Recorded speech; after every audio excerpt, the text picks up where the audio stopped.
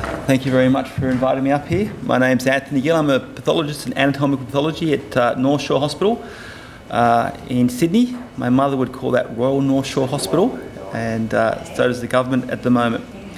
Uh, for those of you who don't know who, where Sydney is, there we are down there. I guess most people here know who it is. This is uh, an aerial view of uh, Sydney from Google Earth, and you can see Royal North Shore Hospital is quite close to the harbour. It's actually, if you have a car accident in the middle of the harbour bridge, you get taken to uh, Royal North Shore Hospital. Here's the sort of publicity, sh- uh, publicity shot they show of the hospital. And we're actually fortunate we've got a brand new hospital uh, that's been built in the last, uh, just the last, I don't know if you have a laser pointer here, but probably don't. Sorry, the last uh, three years. That brown building there uh, has been uh, completely demolished. I was actually born there all those years ago. Uh, we're one of the few hospitals that have their own cricket pitch, uh, which is that hospital, that cricket pitch apparently is on the hospital uh, lands.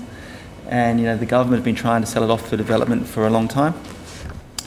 Uh, we're also one of the few hospitals that have their own graveyard. It, apparently, the graveyard precedes the building of the hospital by something like 100 years.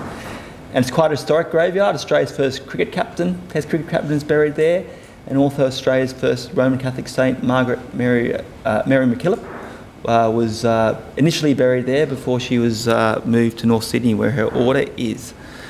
Um, as I said, we've got a brand new hospital uh, just to the left there, that sort of uh, white silver building. No one really knows how much it costs, but it's estimated between 750 and a million dollars, a billion dollars. And involved in that hospital, there's a new research building called the Kolling Institute of Research, which is just closer to this site. And uh, there's a new outpatients department. So basically, every single part of that hospital has now been rebuilt over the last five years, which you know is almost unheard of in a established hospital to can be completely erased from everything. You can see the brown big building there has the green sort of cover around it. They were going to demolish it with a controlled implosion, but uh, they thought the better of that for some reason. Have knocked it down and turned it into a car park. When um, when they were building the new hospitals, a lot of thought they wanted to move pathology and non-important or non-frontline staff, as the administrators saw it, off campus to uh, sort of cheaper real estate in the western part of Sydney. And after a lot of lobbying, uh, sort of a compromise deal was done where the administrators, the New South Wales Department of Health, have their main headquarters right in North Sydney overlooking the Harbour Bridge. No one really knows what the view is from the Department of Health there because I'm not high enough up the pecking order to be invited there, but it's thought to look something like that. the patients in the hospital and the clinicians get a somewhat better view. They get what you'd call harbour glimpses. You can just see the harbour bridge if you stand up and you tiptoes out the corner. You can see the sort of historic museum part of the hospital and the cricket bridge uh, to one side. And uh, the pathologists, we get that view. which, which is a slight exaggeration. That would be my view if I had a window in my office. um, so there we are, looking in. Uh, you know, that's our department as seen from the uh, from the graveyard. So at Royal North Hospital, we have an interest in endocrine pathology. We're actually the biggest endocrine surgery unit in the Southern Hemisphere, third biggest in the world in terms of our numbers. But we're fortunate we have a captive audience, unlike some of the North American places where you have to have your surgery, you cut your travel for your surgery, then go back home for follow up. Uh, most people have followed up through our department, so uh, we see a lot of them uh, back and forth. And we can follow up on them, and as a result, we've got interest in that GRT pathology and uh, hereditary endocrine disease. So we've had like a database that has recorded, recorded all our parathyroids and thyroid surgeries for the last 50 or 60 years. Um, more than 50,000 procedures recorded in total with follow-up for all the malignant cases. And to sort of give you an idea of how far back it goes, this is the old card system from the 1957. So this patient died in 1957. And again, you know, computers were a, were a distant dream. So, you know, working computers in this environment were a dream here.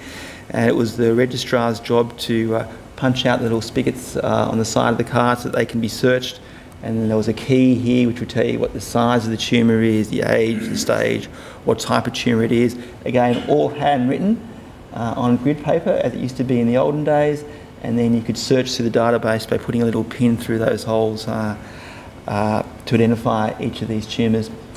And then, you know, back in the sort of uh, sort of 80s, late 70s, uh, you know, it, the sort of crude sort of uh, almost electronic typewriter rather than computer system came in. And now it's obviously on sort of you know standard database on people's laptop. And this shows you a lot about how medicine has changed. Here you see a change in the uh, the shift from public hospital to private hospital surgery for uh, the patients in our endocrine unit. Here we see that parathyroid surgery has increased exponentially. You know, back in the late 80s, it was uh, calcium determination became sort of routine in blood tests. That resulted in hyperparathyroidism being widely recognised. A few studies demonstrating that hyperparathyroidism, you know, leads to worse quality of life. And now, you know, we're doing um, about 400 parathyroid surgeries a year in our hospital, up from, you know, literally none uh, 50 years ago. And, you know, this says interesting things about the demographic of papillary thyroid carcinoma. You see papillary thyroid carcinoma increasing dramatically and exponentially, and no one thinks that that's uh, caused by carcinogens in the environment. I don't think it's probably to do with recognising people who have a cancer uh, who weren't previously recognised. Uh, and most of those people, the cancer would have done nothing to them, would never have hurt them. So uh, I don't know whether we're doing them a favour by recognising that. Anyway, as part of the interest in GIT and endocrine path and hereditary endocrine pathology, I became interested in, um, in other aspects of the research, and we're also the largest volume pancreatic surgery unit in Australia. Uh, so, as part of that, um, I became involved in the International Cancer Genome Consortium, or ICGC, project, which was a worldwide sort of global coalition to uh, really is a sequel to the Human Genome Project, where the idea was to sequence one person's human genome once and put it online as a, uh, as a data set. It is to sequence the genome of cancers. And of course, all cancers are different, and dealing with that variability is uh, kind of what the study of genomics is all about. So, what is genomics? I think you have to separate. Sometimes the word genomics is used as a synonym for expensive, fancy, uh, advanced molecular testing, but strictly speaking, genomics means study of the structure of the entire genome rather than looking for individual mutations. And it's got a few different connotations which I'll, uh, which I emphasise. So, just some trivia about the human genome. How many base pairs in the DNA? How many DNA base pairs are there in the normal human genome? Anyone? Three, three billion. Three billion. I would have already also accepted a hell of a lot as a correct answer. and how much did it cost to sequence the first human genome? Um, hell of a lot. yeah, about three years, or a hell of a lot. And how long did it take to sequence the first genome? Hell of a long time. and when was the first genome sequenced? Well, depending on when you define finish, you know, sometime around 15 years ago. And whose genome was it? Uh, everyone gets this right. Everyone says it's Watson or Crick or someone, but it was volunteers from Buffalo in USA, but somewhat disguised. So, why is there this tremendous interest in genomics now when there wasn't when DNA has been around for 50 years or been known about for 50 years?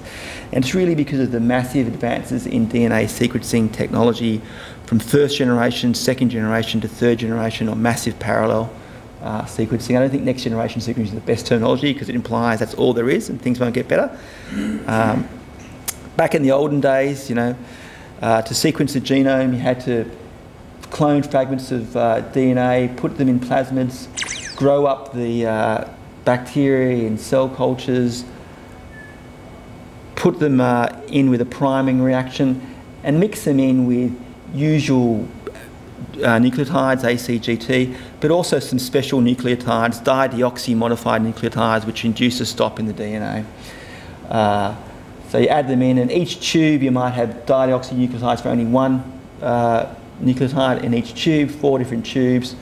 Add them in, and uh, yeah, that would induce a stop whenever, you know, almost at a random time, whenever one of those nucleotides came in. So if the tube with T, you'd have a base pair which is 21 base pairs long, and you'd know that at the 21 base pair length you'd have a T there. And another tube you might have you know another stop codon. Again, C at the end, this one's a bit longer, 26 base pairs long. You can run them across the gel with your different tubes there, freeze it out, and you know basically read off your sequence. Like from the bottom there, it would be C, G, A, T. That's sort of classical Sanger sequencing Uh, it's been around since, you know, really the very early 1970s. Uh, and it had a lot of disadvantages, mostly that it was time consuming, expensive, and no one wanted to do it. So, you know, back in 1971, the cost of sequencing per base pair, per base pair, single base pair, was estimated at $10,000 per base pair. And that's, you know, come off more than 10,000 fold, more than a million fold over the subsequent 30 years. We'll talk about that a bit later. What traditionally, up until about, you know, six or seven years ago, Sanger sequencing or second generation sequencing. So second generation sequencing has a similar approach, but you can put all the reactors in the same probe because in the same tube because your stop primers are tagged with a fluorescent probe, uh, which will stop at the same uh, at the individual base pair length, but the la laser will detect those as it goes through. So if you sort your probe by uh, by size, you can see as they come through each time, you get an automated reader like that. And that's the traditional sort of, you know, Sanger plot that, uh, that we see, you know, mostly uh, these days uh, in sort of standard, you know, old-fashioned care. And then we have massive parallel sequencing, which there are many different platforms out there. I know that a lot of people here will be uh, very familiar with the platforms, but they all have uh, things in common. That you start with complete genome copies. You um, you shear them uh, up from different ways, so-called shotgun shearing. That you know doesn't necessarily have to be done by duck hunters. It can also be done by uh, enzymatic shearing, hydro shearing, sonication. You get individual fragments which might be between 150 or 300 base pairs or longer depending on your platforms, and they can be put in sequences. Uh, this is from a, you know, one of the older platforms, but uh, they can be attached to a detection system. And this platform uses you know, fluorescent labelled uh, base pairs that when they integrate in the DNA, they emit a fluorescent probe and they stay only there for a, fraction of a second. You can see that this sort of a readout from each of those uh, dots there corresponds to one well with a PCR sequence going on in there. Fraction of a second, you end up with uh, many, many, many short fragments of DNA. Because we already know the human genome uh, outline or broad outline, the, G the computer program will put the DNA fragments over together, read them out, and then with any luck, you won't have any big holes in that data and you'll be able to get a whole readout of the area sequence. So you know, assuming that there's been no errors there, you can have a readout of the area sequence. So uh, that's you know from the Queensland Institute of Genomics, one of uh, the patients we sequenced with the pancreatic cancer, and you can see the reality is that Every time you repeat the sequencing, it's called going one deeper, but you still will always have some hole, uh, holes in your sequencing, some areas with very low coverage, which might only be sequenced once or twice. And uh, so it's certainly a quicker technology, but it's not without its problems. That's first generation, second generation, third generation, and now pretty much anyone can you know, virtually buy a massive parallel sequencing platform off the shelf, and that's led to a dramatic decrease. We mentioned at the beginning in 1971, it was $10,000 per base pair to sequence um, you know, one nucleotide. By 30 years later, by 2001, it was $10,000 per megabase. That's come off you know, a million fold. We can see that around 2007 was when um, the uh, massive parallel sequencing really came online, the routine clinical setting, and you can see it's come off, you know, more than 10,000 times cheaper than it has uh, uh, in since that's come online. So by comparison, that top plot there is Moore's law, which is really a computing algorithm to look at how computers have improved so much. We all accept that you know mobile phones now are better than they were 10 years ago and better than they were 20 years ago when they didn't exist. Um, Moore's law sort of running you know quite a gentle slope compared to the the uh, massive uh, massive uh, improvement in cost for the next generation sequencing. So the big thing is that you know now that we everyone has these platforms and everyone wants to sequence cancer, and there's a lot of reasons why you'd want to sequence cancer. Uh, how do you do this in a uniform way so that we can compete? Uh, we can not compete as much as collaborate with different international groups.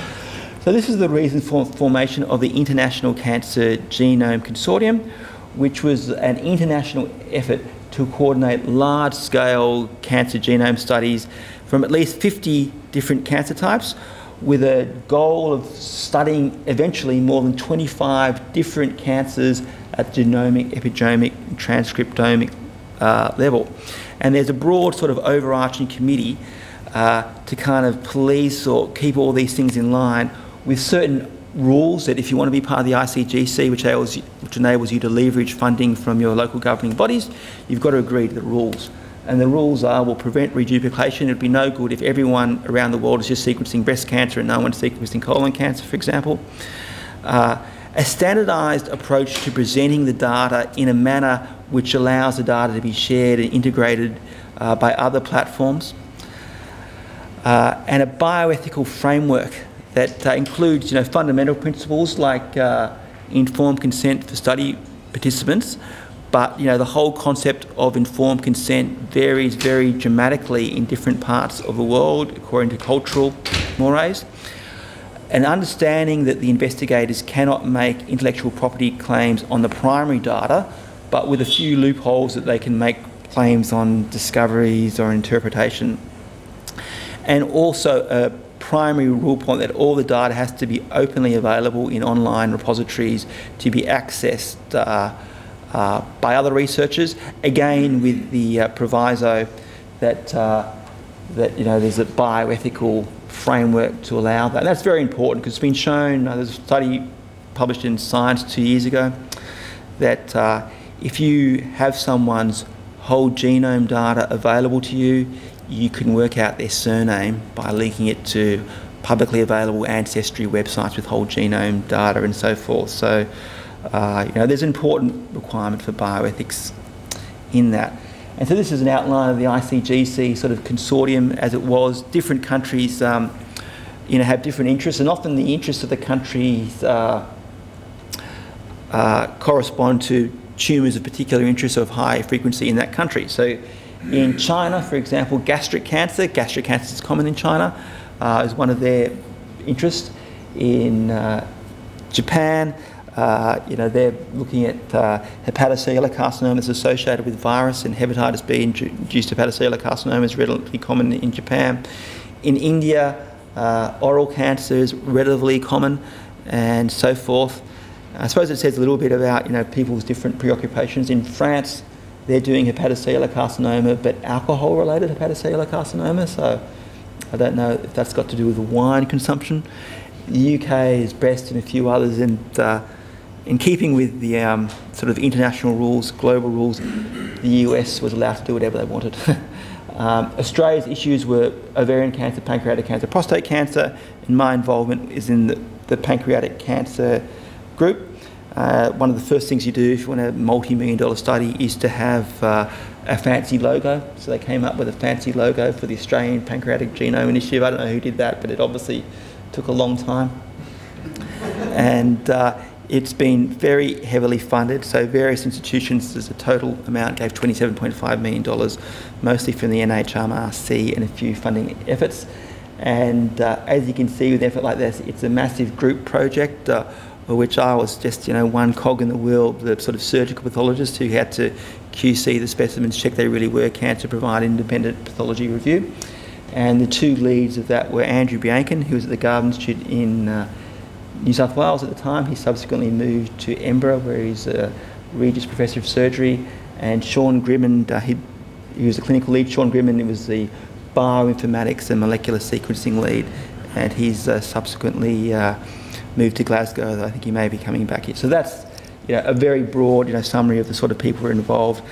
And again, it was very clear that although, um, from a very practical point of view, sometimes you can it might be easier to sequence only patients from one or two sites because you really have control of all the data there. Because it's funded by a national body, there was a strong desire to have a national presence, to have uh, patients included in this study from every, uh, every capital city in Australia. And the timeline was that we first started publishing, uh, first started collecting patients in 2009, although sequencing didn't start uh, until a year or two later. And uh, that, that collection process, we learn a lot about you know, the processes, the immense process involved in getting ethics approvals from each of these individual sites uh, for a project which at that time no one had really done you know, this degree of uh, next generation sequencing in Australia in sort of a semi-routine setting. And we also learned a lot about specimen quality assurance that previously we'd wasted a lot of money collecting consenting patients for material which subsequently was proven not to be cancer at all. As we went through to October 2012, we published the first uh, publication in Nature, which was an exome paper looking at the exomes of cancer, and that's been expanded now to whole genomes, which was published earlier this year. And I said there's a plan to do genome, exome, transcriptome, and epigenome sequencing. And as of this is actually about a year old, this slide, there are 600 patients uh, recruited and analysed, uh, of which now 400 were compliant with all the rules, the quality assurance compliance that we require to fulfil the ICGC criteria. And our goal and our funding was for 400 patients. So that's what's been completed. And from those patients, it was thought that it would be a good idea to um, maximize, maximize the use you get from this you know, incredibly expensive sequencing the DNA of all these cancers by creating other resources. So 90 of them have been xenografted and there's more than 15 cell lines. And the basic plan was to say that pancreatic cancer will fall into different genomic categories and have a couple of xenografts and cell lines for each category uh, to, um, to experiment with. And you can see from the numbers the great uh, majority of them actually were from two hospitals in North Shore, or Maitland Road from North Shore, from my institution, and uh, from Liverpool, which is another hospital in Sydney. But uh, we certainly did more than lip service to uh, make sure that patients from uh, a number of major centres right the way around Australia were represented. And it's been considered a successful project by the funders of the NHMRC. In fact, when there was an independent review of the McKeon, the McKeon review of the NHMRC funding, it was highlighted as uh, as a worthwhile project because of its collaborative nature, um, despite the significant ex expense. And it's been published quite widely, including I think three or four publications in Nature proceedings, you know, in quite high impact journals. And you can see that um, the data has been made available. So this is the ICGC data portal, and there are various degrees of access. You know, anyone who's an ICGC member can basically go straight to the data uh, portal and download most of the data and for data which are potentially identifying and you know needs has privacy issues, there are ways to access in a straightforward governance process. So uh, the paper you know we published has been cited in Nature on whole exomes has been cited 400 times, but it's been used in about a thousand other projects uh, going forward because the data is now sort of in the open access. They sort of download the data from that website, and it's also been placed into other openly available. Uh, uh, resources, including, you know, the, this is from the Queensland Centre of Medical Genomics Sean Grimensgood, who did a lot of the physical data sequencing and data analysis, but also in things like Cosmic and other online databases that are readily available. So it's been successful. They've produced a lot of data, but what have I learned from my involvement in the APGI ICGC? As I said, uh, you know, I don't want to take credit for all this because I'm just a working pathologist who's doing this as part of a wider group uh, who's leading it. But what have I learned as a pathologist in routine clinical practice that is worthwhile or interesting or changes my appreciation of how we do things and how we should do things? The first thing I learned uh, is that all cancers have different frequencies of mutations. This is a paper to which uh, the APGI contributed uh, data uh, that was led from uh, the Sanger Institute in the UK. Uh, and it's been a hard, it's been one of the most highly cited uh, research papers in the medical literature uh, for the last two years. The senior authors were Serena Nik-Zainal and Ludmil Alexandrov, and uh, they proposed the concept of mutational frequency and mutational signatures in cancer. So what does that mean? This is, uh, you know, when you give a few lectures, there's a couple of diagrams that, or images that always get cited and requoted and requoted and requoted. And this is one of those um, images that will come up again and again in a lot of talks uh, in genomics and continues to come up in a lot of papers, sometimes called an Alexandrovogram. But basically, this looks at the different frequencies of mutations across the whole uh, genome in different cancers. So you can see uh, there are some cancers, this is logarithmic scale, so there are some cancers to the right, such as melanoma, that have a whole lot of large numbers of mutations where there are some cancers to the left that have very few mutations.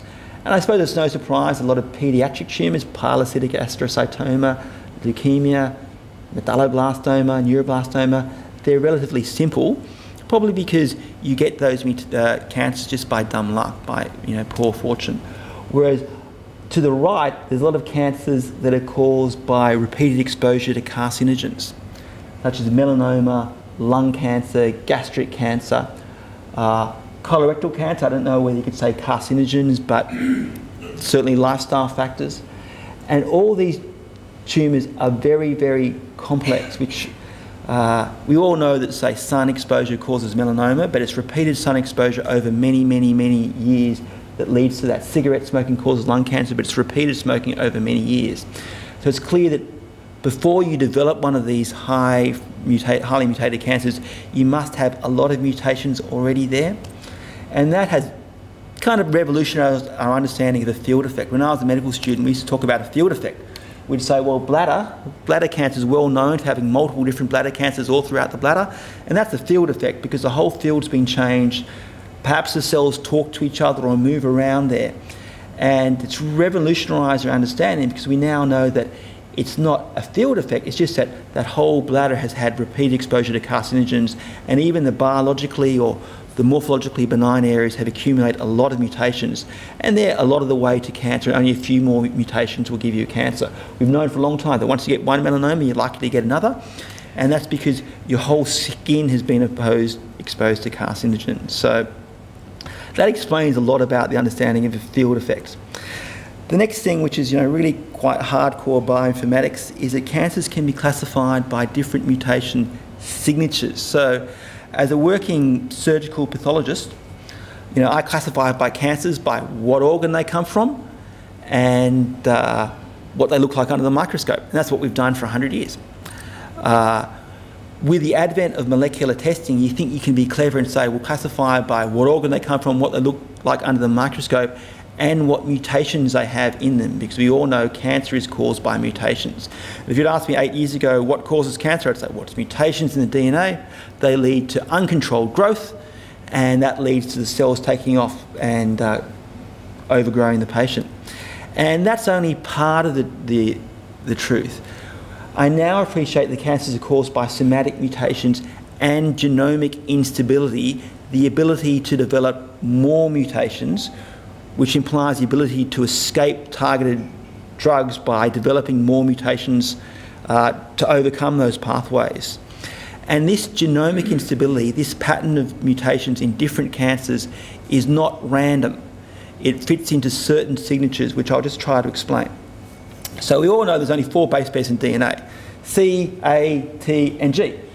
And if you say that swapping a C for an A is kind of the same thing as swapping an A for a C, if there's only four base pairs in DNA, there are only six possible types of base pair substitutions or six possible types of point mutation that you can get in DNA. It's a bit like saying if you had four teams in a you know, cricket tournament, there would be six games and every team would play each other. Uh, so there are only six possible types of uh, substitutions in DNA. But the types of substitutions can be further classified based on the nucleotides on either side. So this is the only thing that's a little bit complex, that uh, C for T, if you have an AT on each side, is a little bit different to C to T with an AC on each side. So yeah, the second example, uh, C to T is a fundamental substitution, but it's a bit different if you've got an A on either side than if you've got a T on one side and an A on the other side. So if you do the maths, taking this into account with base pairs on either side helping to classify, there's only a total of 96 different substitutions that you can get in simple substitution mutations. 96 substitutions by which base pair substitutes by which base pair and classified by what base pair is on either side. So how do you express that in a whole genome which is 3 billion, but may even be more than 3 billion uh, if you have a cancer genome which might be aneuploid, might have different subclones. Well, this is one way of expressing it uh, into sort of signature diagrams. And you can see at the top you have the different substitutions C to A, C to G, C to T in red, uh, T to A, T to G, T to G, T to C, T to G.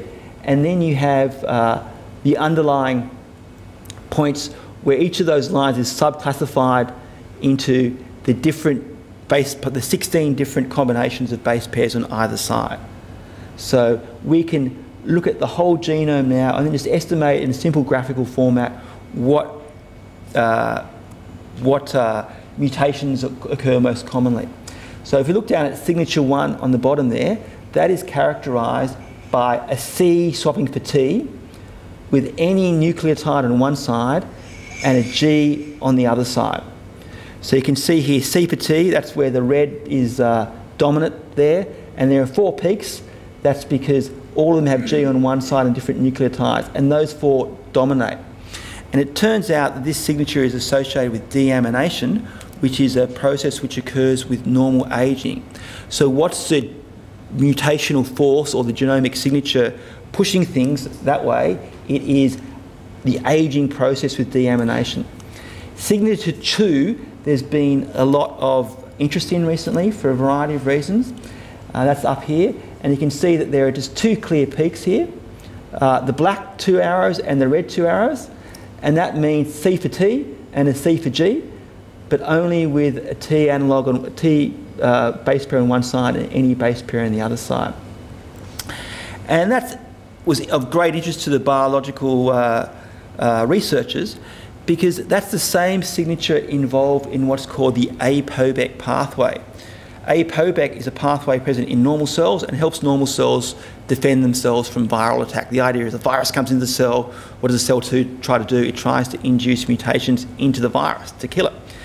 Uh, and the fact that these signatures are the same in the DNA as APOBEC introduces into the viral, uh, the viral DNA uh, has made people think that maybe these are either virus related or what may be more likely a side effect or sort of friendly fire from the body's own defence against viruses that for whatever reason, maybe not to do with viruses, starts attacking the own DNA.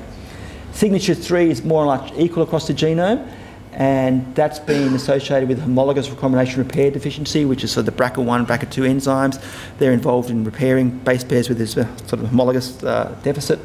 Uh, signature 6 is, say, C, substituting for T. That's associated with microsatellite instability, as you see in some colon cancers. Signature D, you can see, uh, is a C substituting for A, and that's the signature associated with smoking. So smoking, I think everyone recognises, causes mutations in DNA, but the cigarette smokes and the carcinogens in that don't induce DNA mutations in a random fashion. They preferentially uh, induce C for A substitution. Signature 7 is caused by ultraviolet light in the same manner that you know UV light we all know causes skin cancer, but it doesn't cause the same mutations that it causes stereotypical patterns of injuries. Uh, so if you look at pancreatic cancer, there are four mutations that uh, dominate. Deamination uh, which is sort of the aging pathway, APOBEC, which is the uh, viral defence pathway, BRCA, which is the homologous recombination repair pathway, and microsatellite instability. And the only thing to bear in mind is that cancers may not just have one mutational signature, they ha may have many mutational signatures overlapping each other. So you can have both the age and the smoking and the APOBEC signature within your 3 million base pairs. And so it takes quite high level computing ability to un unmask them all and put them into signatures. So you can classify cancers now not based solely on what organ they affect, not based solely on what um, they look like under the microscope, not based solely on what mutations or what genes are mutated, but now on the pattern of injury to the entire genome, which includes both the non-coding and the coding DNA.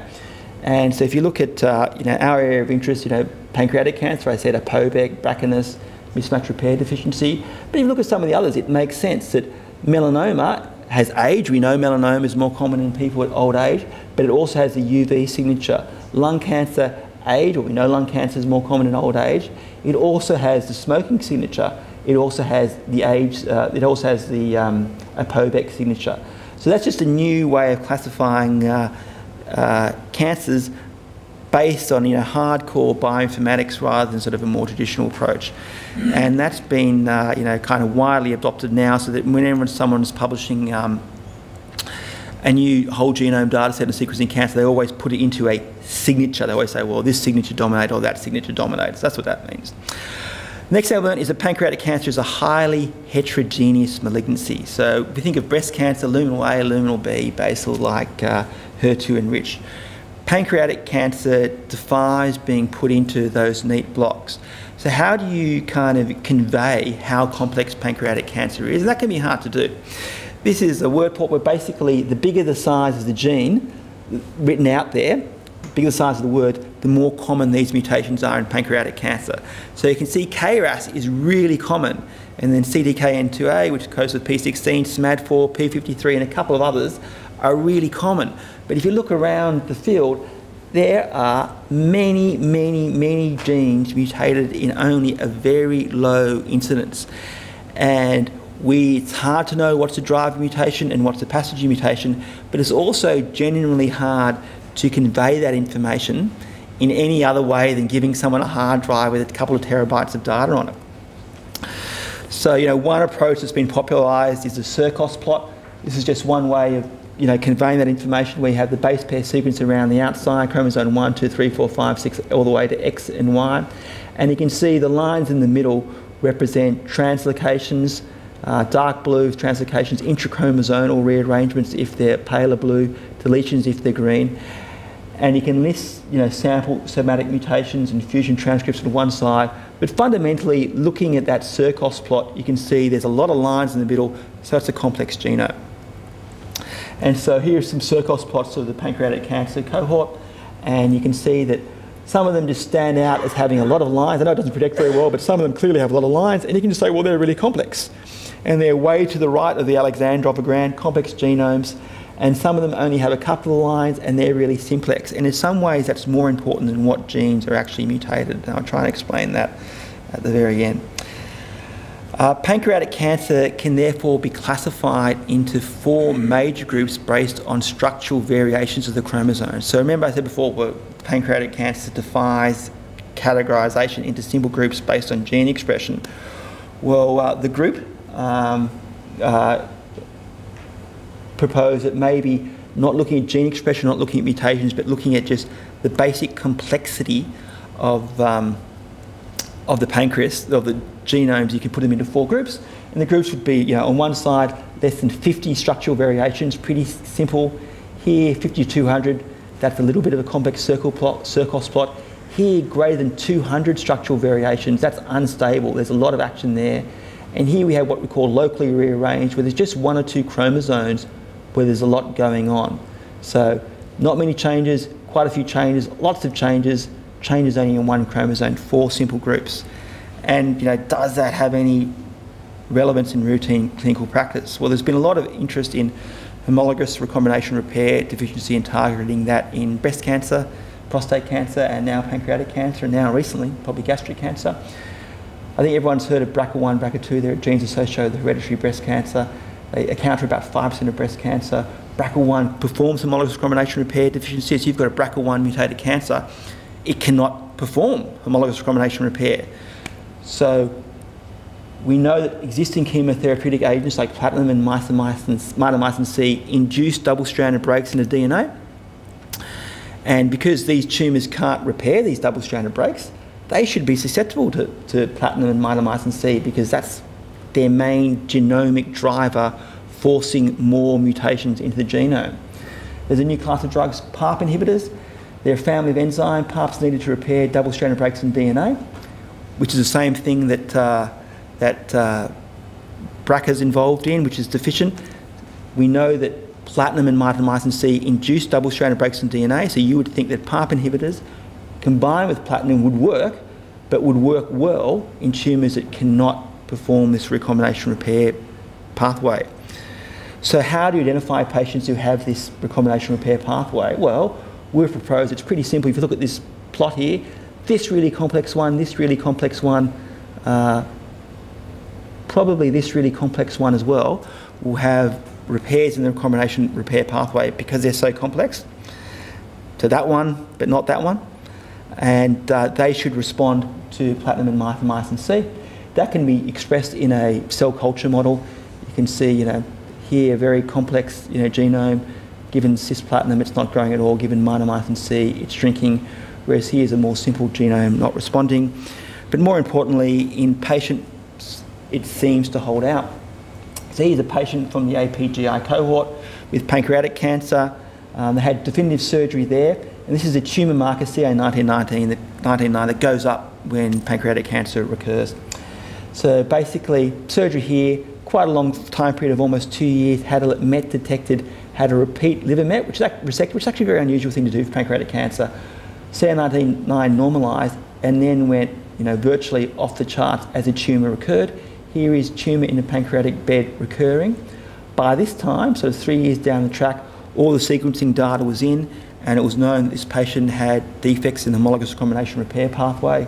It was known this patient had a very complex uh, genome. So uh, this patient was given uh, platinum-based chemotherapy, which is not standard of care for pancreatic cancer. Most people get gemcitabine. And you can see the CA19-9 normalised, and the patient went into, um, into uh, complete remission and actually survived, uh, survived at least five years after, uh, after surgery. Now, uh, the next thing is that everyone talks about uh, personalised medicine, but uh, applying it in the routine, you know, clinical setting can be really, really difficult. And this is the data from the IMPACT trial, which is published in Clinical Cancer Research. Again, I was just, you know, one of the many pathologists uh, who were involved in this project. Adrienne Morey here, she was also involved. Um, and the IMPACT trial was, you know, the first attempt to see whether we can impact in a randomised trial fashion on clinical care in uh, these patients. And uh, so basically, I think you know everyone is almost mandatory at every pathology lecture you give. You have to use the word personalised medicine and talk about doing mutations. You had a list of all these mutations on one side and actionable targets, you know, treatments that you could potentially give, and the incidence of these mutations. So the premise of the IMPACT trial is that we'll look at the top three, you know, readily available mutations. One is this uh, BRCA mismatch, uh, you know, homologous recombination repair deficient pathway, which uh, only 4% will have mutations, but maybe 30% will have the pangenomic instability. We'll look at HER2 amplification, which we know only occurs in 1 to 2% of pancreatic cancer, but you know, Herceptin uh, is a great drug that's worked very well for breast cancer, and case reports are responding quite well in pancreatic cancer. And we'll look at patients which are wild type for KRAS, for which there are good reasons to think that they'll respond to a erlotinib. So they're the three cohorts which you know we would think would account for about 30% of patients. And there are other potential uh, uh, targets there, but the idea is to sequence those, you know, look for those three mutations. So this is an outline of the original IMPACT trial, and this was funded for $1.5 million uh, by the government funders. And the basic uh, outline is it shows that patients, you know, with males or females with confirmed or de novo metastatic or recurrent pancreatic adenocarcinoma, then they need to enrol in the trial, makes sense. Uh, they have to confirm eligibility, and uh, we're looking for those specific mutations which are HER2 amplification, repair, uh, homologous recombination re, uh, repair deficient tumours, so the BRCA1, BRCA2 mutations, um, or if they're wild type for KRAS, and uh, they will be randomised into standard treatment gemcitabine or treatment guided by the individual mutation, and then we'll see whether the patients progress or respond or die. So it's kind of a logical way of doing this. But what actually happened in the real world in clinical practice in this $1.5 million trial? There were 93 patients uh, consented for molecular testing. We had a goal to consent 100, so that's good.